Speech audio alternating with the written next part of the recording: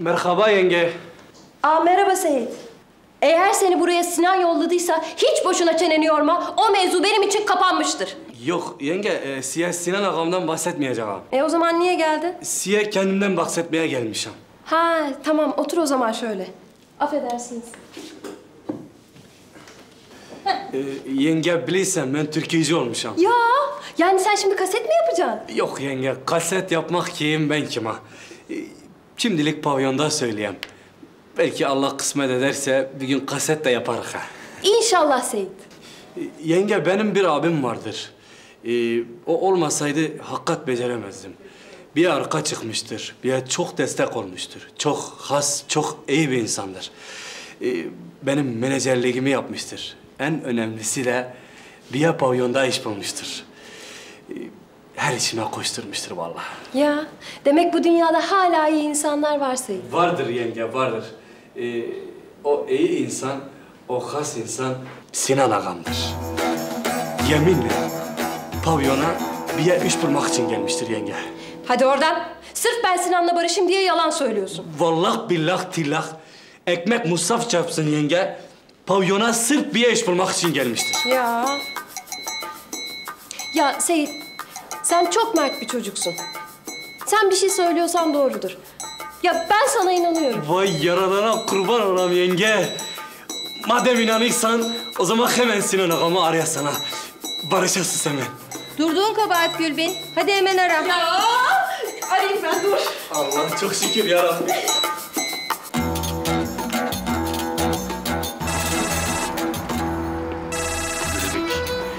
Alo, sayın abonemiz. Şu anda aradığınız kişiye ulaşılamamaktadır. Çünkü aradığınız kişi kendinden geçmiş durumdadır. Çünkü biricik karısı onu bir sokak köpeği yavrusu gibi yani bir enik gibi kapının önüne koymuştur.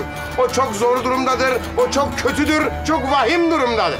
Ya Sinan bırak saçmalamayı. Seyit geldi her şeyi anlattı bana. Sen gerçekten pavyona Seyit için gitmişsin. Çapkınlık için değil. Ya çok özür dilerim. Beni affedebilecek misin? Sayın abonemiz, dağıl rüzgarı affetse bile kırılmıştır artık bir kere. Affetse de fayda değil. Diz çöküp yalvarsan yakarsan, ayaklarına kapansan işe yaramaz. Ya Sinan seni affettiğime pişman etme beni. Ee, tamam canım karıcığım, ee, şaka yapıyordum. Seni ne kadar sevdiğimi bilmiyor musun sen? Ee, şimdi e, Gülübükçim, sen e, telefonu iyice yanağına yaklaştır. Ben şimdi buradan bir öpücük gönderiyorum sana. Bakalım alabilecek misin? Hadi bakalım. Mua! İyi hissettin mi yanağında Gülübük? Sinan akşam eve geç kalma ha. Tabii geç kalmam karıcığım. Erkenden gelirim. Mıncır mıncır mıncırırım ben seni. Hadi bay bay. Hayırdır Melahat Hanım? Nereye böyle? Murat'ın hocasına gidiyoruz Sinan. Şu reddi miras davasını görüşeceğiz Sinan abi. Ha, güzel.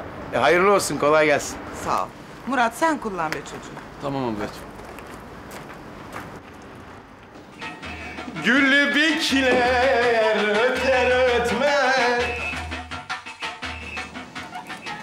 Ali Kemal, terbiyesiz herif. Kudurdun mu? Seyrettiğim programa bak. Ya niye değiştiriyorsun Sinan abicim ya? Ne güzel izliyordum da. Değiştirmesem düz duvara tırmanacaksın. Örümcek adam. Ali Kemal, bırak televizyon seyretmeyi de sen derslerine çalış oğlum. Bakın arkadaşlar ben derim ki eğer bu çocuğu evlendirmezsek hepimizin sonu çok fena olacak. Ben derim bak. Ya bırak Allah aşkına Osman ya. Yazık olmaz mı bununla evlenecek kıza? O da var ya. En iyisi biz Ali Kemal'i veterinere götürelim. Orada onu sırlaştıralım.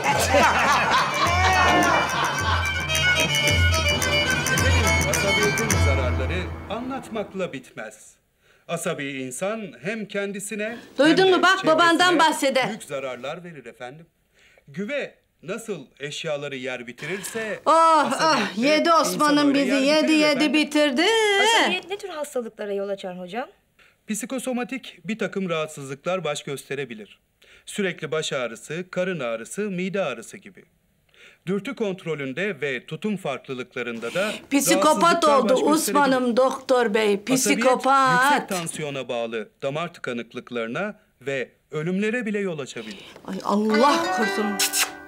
Şomazdı. O ne biçim laf öyle? Sevgili izleyiciler, asabiyet ve tedavisi hakkında doktorunuza, yayınımıza bağlanarak soru Aa, sorabilirsiniz. kız ver ver ver telefonu ver. Sen bir öğrenelim babanın derdi var mıdır onu çözebilirler mi? Doktor yardımcı olabilir mi? Ver. Ay anne boşu umutlanma. Yani modern tıp bile babamın asabiyetine çare bulamaz. Tam bir klinik vaka adam.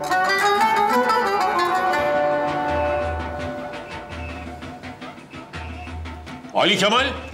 Oğlum az önce kızmadık mı sana bu programları seyretme diye? Bak hala seyrediyorsun. Özür Asabiyet yüksek tansiyona bağlı damar tıkanıklıklarına Merhaba ve ağalar. hatta Vay Seyit kardeşim hoş geldin. Ya Allah senden razı olsun. Sayende Gülbük ablan affetti beni ha. Estağfurullah ağam, estağfurullah. Ha Seyit, bu arada bana bir at ismi söyle bakayım. Ben anlamayayım ki ağam. Ben anlamayayım ki ağam diye bir at yoktur Seyit. Başka bir tane söyle bakayım. Asabiyet bir duygu bozukluğu halidir ve muhakkak tedavi edilmesi gerekir.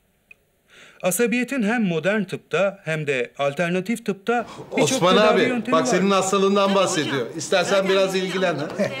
Benim hastalığımın tek sebebi Safiye'dir. Onun ağzını dilini bile dikseler ben olurum bile pamuk gibi ya. evet. Hattımızda ismini vermek istemeyen bir izleyicimiz var. Alo. Tete iyi günler. Ee, iyi yayınlar olsun. Ee, benim bir kocam var. Ee, e, kendisi sinir hastasıdır. Ee, çok aksidir. De bir kızım var. Ellerinizden öper. Ee, 17 yaşında. Ee, onunla bana yapmadığını etmediğini bırakmaz doktor bey. E, ne olur bize bir çare bulun. Önce asabiyetin sebebini bulmak lazım hanımefendi. Eşiniz stresli bir iş mi yapıyor? Ee, de, de, doktor kız hanım kendisi taksi şoförüdür. Osman Aga, bu ses Safiye yengenin sesi olabilir mi? Şeker. Tabii hocam farklı meslek gruplarında sebep olacağı Safiye bir arasın. Yaşam şartları ona ne yapacağını? Neden televizyonu arasın ki? Valla Safiye yengenin sesine benziyor. Yok oğlum yok ya. Safiye, Safiye değildir canım. Niye arasın ki Safiye? Peki eşinizde yüksek tansiyon, şeker gibi hastalıklar var mı hanımefendi? Vardır doktor kız hanım. Ee, kendisi şeker hastasıdır. Vallahi da Safiye ablacığımdır bu. Yok Osman abi e, Safiye Hanım e, kocasının derdine derman arıyor o sinsi kadar. bir hastalıktır hanımefendi. Şeker hastalığı kan dolaşımını da etkileyerek hastalarda sıklıkla cinsel performans eksikliğine de yol açabilir. Peki sizin eşinizde de böyle bir durum var mı? Tebe doktor bey sen ne dersin? Bizden geçti o işler. Biz ucunla yıllardır bacı kardeş ki biz Allah seni inandırsın.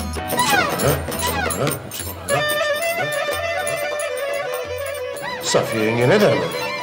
Bacı der, bacı der, bacı der. Kardeş der, kardeş der, kardeş der, kardeş der, kardeş der. Osman abi, ağam.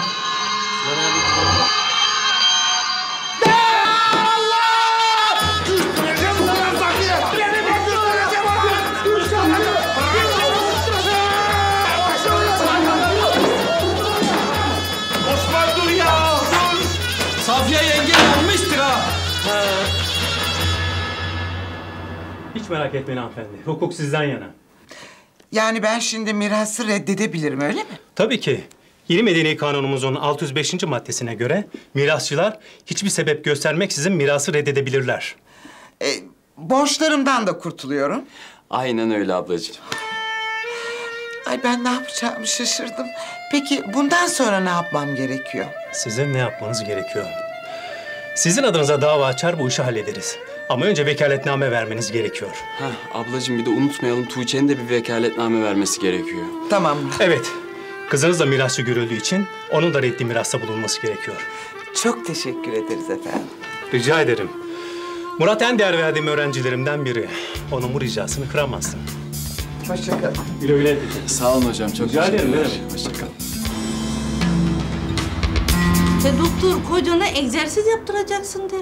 Te ben nasıl egzersiz yaptıram Osman'a? Anne hiç boşuna uğraşma bence. Ya babam hayatta egzersiz yapmaz. İnatçı adam inatçı. Anne baba. Osman geldi. Neredesin kız Safiye? Buradayım Osman'ım.